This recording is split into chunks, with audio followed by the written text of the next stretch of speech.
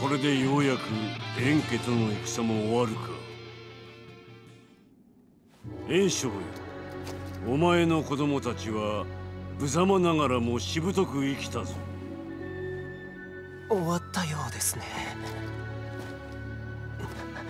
おいおい。無理をするな角か誰か馬を持て。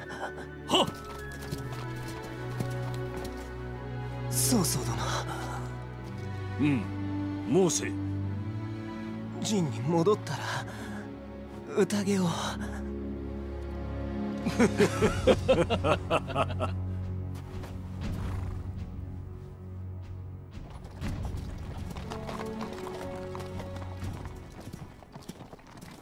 核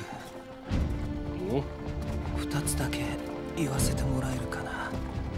おもう誰にも遠慮することはないあなたは曹操軍随一の軍師だいきなりなんだ。俺を担いであんたに何の。得が曹操殿頼む。おい。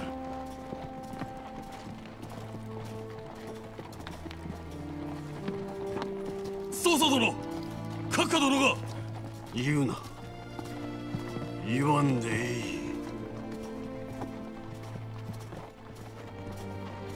さらばだ。書くか